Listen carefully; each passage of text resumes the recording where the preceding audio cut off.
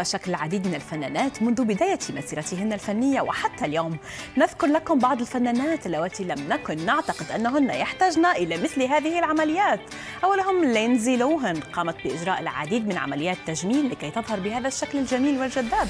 كعمليات تجميل الأنف ونفخ الشفاه وحقن البوتوكس. أما جينيفر أنيستون خضعت لعملية تجميل واحدة فقط ولم يختلف مظهرها كثيرا قبل وبعد عملية التجميل لكنها اعترفت في أحد اللقاءات أنها أجرت عملية تجميل في أنفها.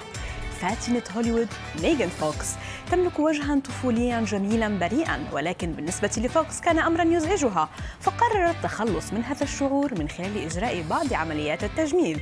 نيكول كيدمان إحدى أجمل النساء في عالم هوليوود أجرت عملية تجميل الأنف وحصلت على أنف جميل ومتناسق يناسب وجهها. أنجلينا جولي التي لطالما أثارت إعجاب الجميع بجمالها. وعلى الرغم من ذلك قامت بتصغير وتنحيف الأنف لتحصل على أنف صغير